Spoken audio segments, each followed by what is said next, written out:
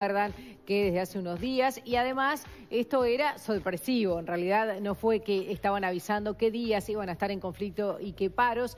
Eh, esto es con la administración del intendente Cristian Dicandia, estos paros de 48 horas, movilizaciones. Recordemos, por ejemplo, que afectó la función de ópera de la flauta mágica en el Solís para la masonería uruguaya. Además, en las últimas horas se confirmó también la renuncia de Fernando Puntigliano a la Dirección de Desarrollo Ambiental por tener diferencias con el intendente Dicandia.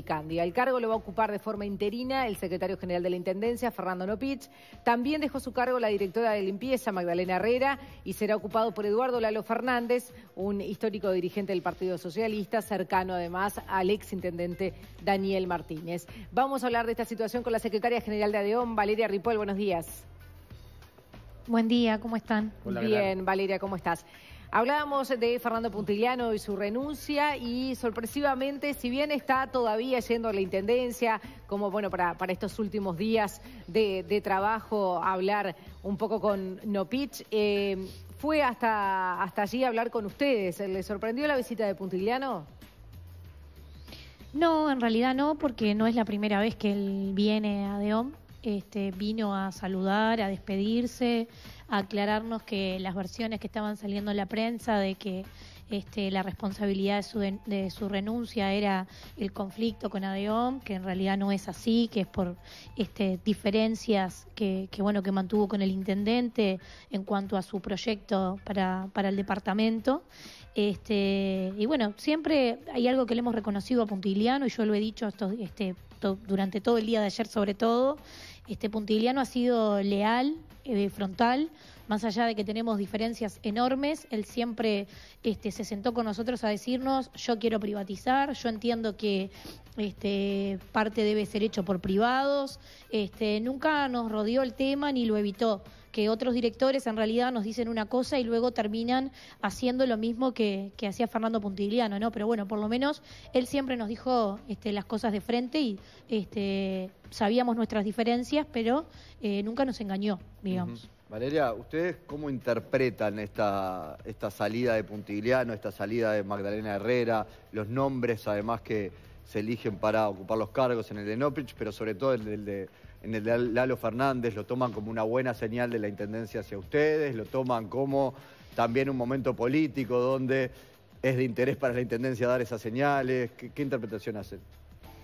Sí, yo creo que tiene un poco de todo, ¿no? Este, obviamente cambiaron a, un perfil más este, tecnócrata, digamos, ¿no? Más este, técnico en la dirección por un perfil más político. Eso es clarísimo. Poner a, a, Nopich y a Lalo Fernández es darle un perfil político a la dirección, tanto de división como de departamento que todo depende cuál sea el objetivo, ¿no? Este, si las diferencias con, con Dicandia y Puntigliano fueron la no aplicación del pliego licitatorio y parar las privatizaciones, bienvenido sea. O sea, nosotros no íbamos por la renuncia de los directores, no nos soluciona el conflicto ni la problemática que tenemos con la Intendencia.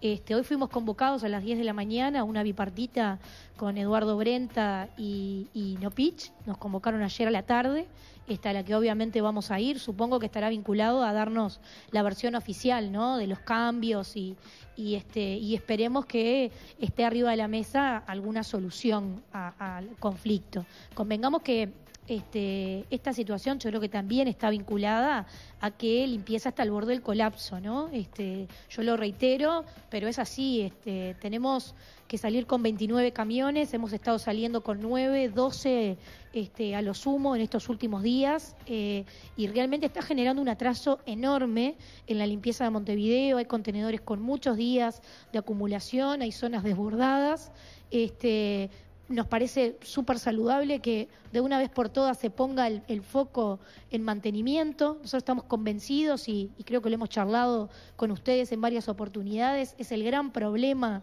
este, de la división limpieza, el mantenimiento.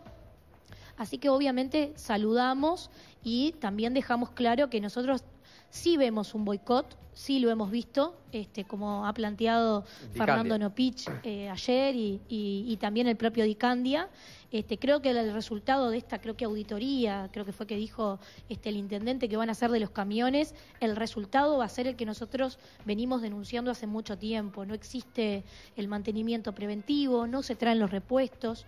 Este, en esta oportunidad, esta semana, no teníamos líquido hidráulico, que para los camiones es tan importante como el combustible, o sea, los camiones no, no pueden funcionar, o sea, estamos en un estado calamitoso del mantenimiento y que, bueno, lástima que tardó tantos años. En ponerse esto arriba de la mesa. Pero el boicot, ¿de, este, dónde viene, Valeria? poner el foco. ¿Lo que, perdona? ¿El boicot de dónde viene? ¿Es de la división de mantenimiento mismo? Es de la en realidad es de la división limpieza y de la gerencia de mantenimiento. Este, no se aprueban las compras, o sea, este, creo que el mayor problema está vinculado a las compras. Tenemos camiones que paran más de un año porque no vienen los repuestos y no autorizan las compras. Y eso es imposible que el trabajador lo pueda modificar. Depende directamente de la dirección de limpieza. ¿Y con qué fin el boicot? Y con el fin de argumentar la privatización este, porque realmente el pliego licitatorio este, que pone arriba de la mesa Puntigliano ese equipo es innecesario. O sea, es este, eh, la demostración del fracaso. ¿y, con qué fin privatizar? ¿Por qué los jerarcas entienden que no les queda otro camino? Me imagino, porque no debe ser la decisión política más fácil tampoco que privatizar. Y menos en el año electoral. mirá que es al revés. Bueno, este, en realidad lo más fácil es privatizar. En el resultado sí, claro, pero... pero en la teoría no. Eh, ¿Por qué creen que con ustedes el, tema de la basura no se puede solucionar y que tienen que privatizar para solucionarlo porque políticamente les sirve?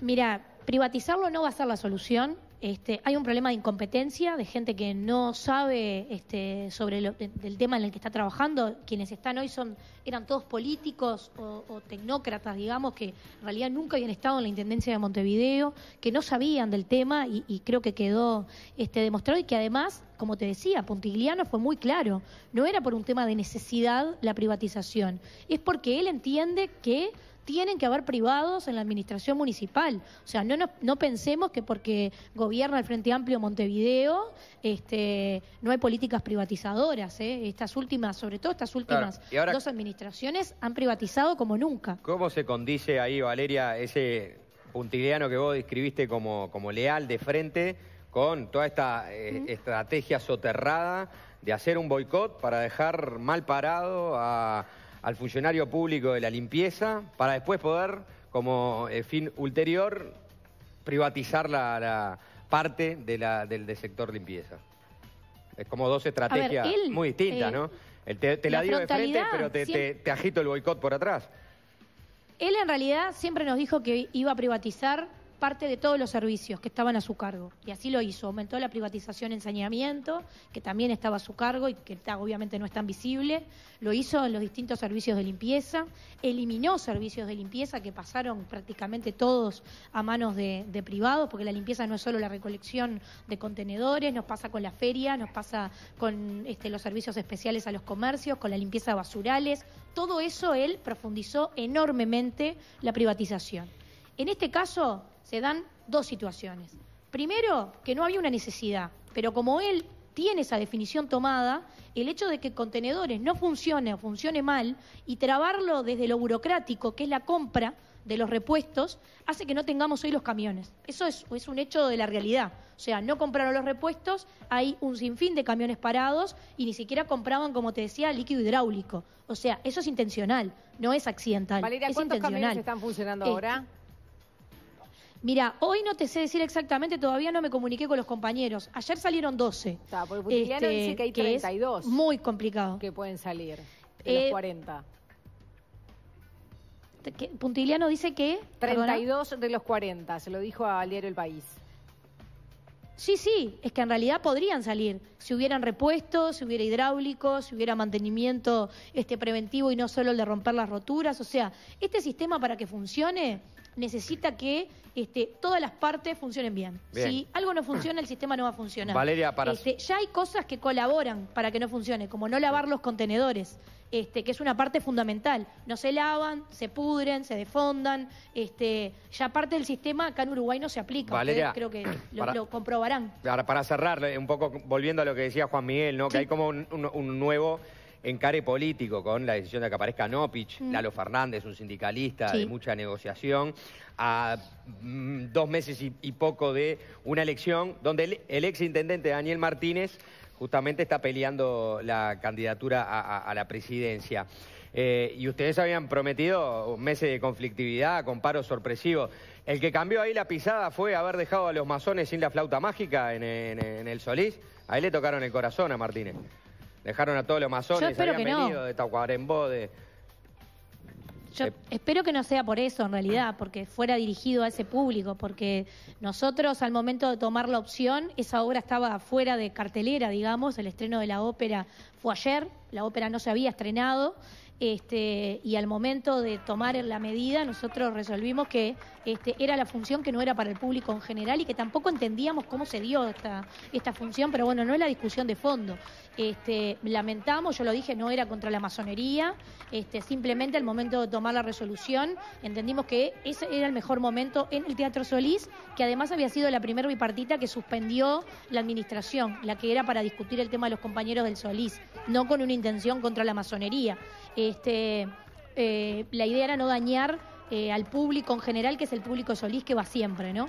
Sí. Eh, pero bueno, sí, las medidas sorpresivas están. Convengamos que la Intendencia sabía que si tomaba ciertas acciones iba a haber un conflicto porque se lo enviamos por escrito al Intendente en caso de seguir el pliego licitatorio, en caso de privatizar las ferias, de no cumplir con el convenio colectivo, de no culminar con el proceso seguro de salud municipal, de no poner arriba de la mesa la discusión de los trabajadores de cultura este, históricamente contratados y todos esos temas no tenían respuesta, que son los que llevaron al conflicto, este, esto iba a suceder. O sea Bien. que hoy la Intendencia tiene la posibilidad de desarticular el conflicto y de que no se aplique ninguna medida. Esperemos que hoy Valeria, la eso. bipartita esté enfocada en eso. Eh, eh, enfocada en eso, pero si llegan a un acuerdo, entonces, ¿se puede anular esta licitación?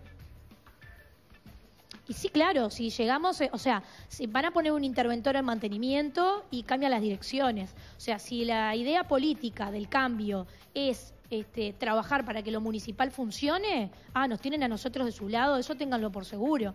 Este, tenemos un montón de cosas, de hecho presentamos una propuesta por escrito de cómo este, debería de funcionar el sistema. O sea, damos en todos los, en todos los puntos de este sistema, el lavado, el mantenimiento preventivo, el correctivo, la operativa, este, la disposición final, todo dimos una propuesta integral para que esto funcione y salga Bien. adelante.